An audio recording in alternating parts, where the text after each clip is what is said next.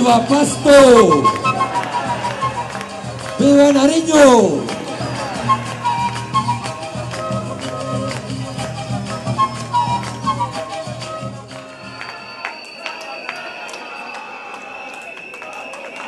Vamos.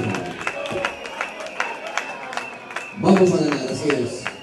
Se sienten esos vientos. ¿Y por qué la gente nos está acompañando? Pues porque nosotros no somos una campaña electoral, porque nosotros somos un proyecto político, porque nosotros no estamos pensando solo en las siguientes elecciones, estamos pensando en las siguientes generaciones de nuestro país.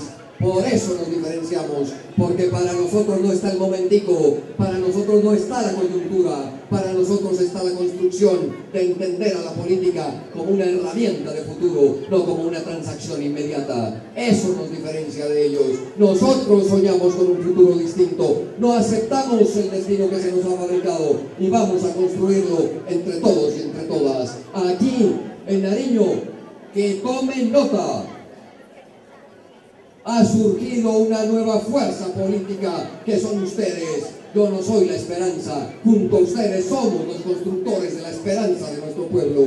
Eso es lo que está en juego en Nariño y en Colombia. Amigo, amigo, el pueblo está contigo. Amigo, amigo, el pueblo está contigo.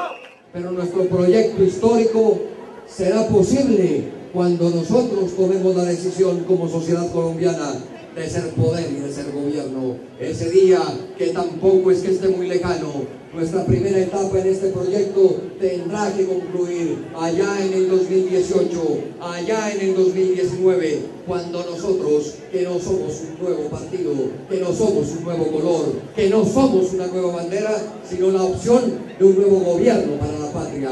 Eso es lo que estamos construyendo, eso es lo que nosotros somos. Amigo, amigo, el pueblo está contigo.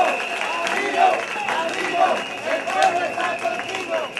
Con los brazos levantados por la dignidad de Nariño. Vamos Pasto, vamos Nariño, porque vamos a ganar.